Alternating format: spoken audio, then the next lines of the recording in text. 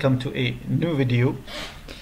In this video I'm going to show you how to create a database uh, using the uh, SQL Server Management Studio uh, utility. So let's open SQL Server Management Studio. So click on the start button and here go to uh, Microsoft uh, SQL Server uh, tools and then under it you can find Microsoft SQL Server Management Studio click on it to open it. When SQL Server Man Management Studio uh, opens, connect to the database engine. I have an instance of uh, SQL Server installed on this uh, uh, machine. So I'm going to click connect to connect to it using Windows authentication.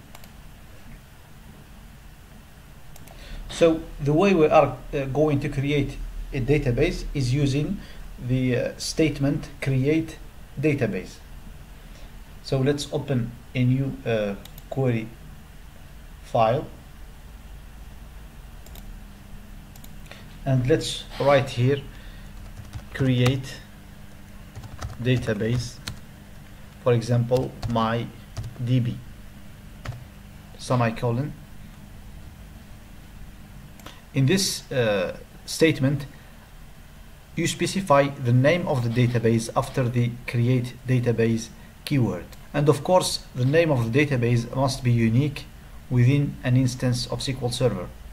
Now let's execute this statement by clicking here on the execute button or the F5 uh, keyboard shortcut. And we get a message here, command completed successfully, which means that the database has been created. So let's open the databases uh, location here and under it you can see that MyDB has been created. If you are not able to see uh, your database just click refresh here to see it or you can just right click on databases and do refresh. So there are various ways to do that. If you want to see all the databases uh, that are present in your instance you can run the following command. Select name from master dot sys dot database. Order by name.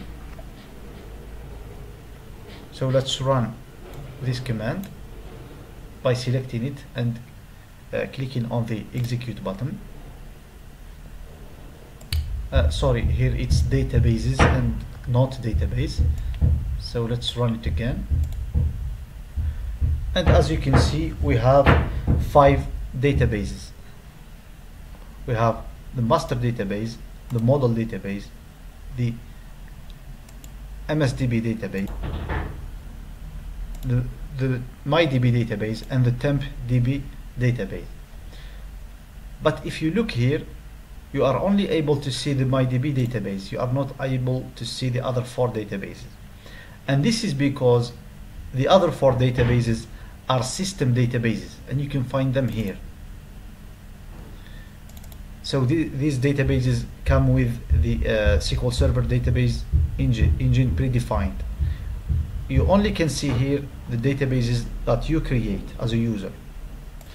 Another way to view all the databases present on this instance of SQL Server is by running the following stored procedure sp databases So the name of the stored procedure is SP databases and the keyword exec means execute this stored procedure. So let's execute it.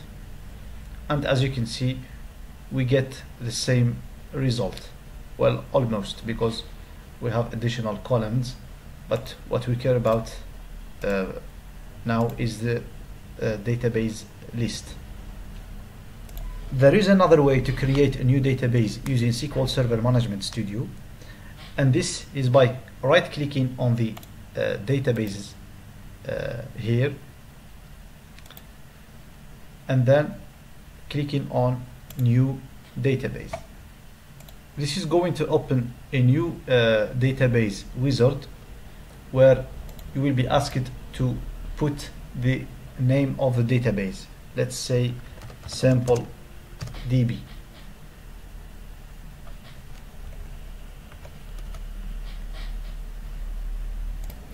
there are other things you can do on this uh, wizard.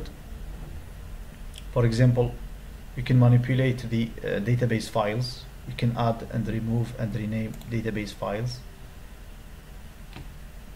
And there are various options here under the options uh, page.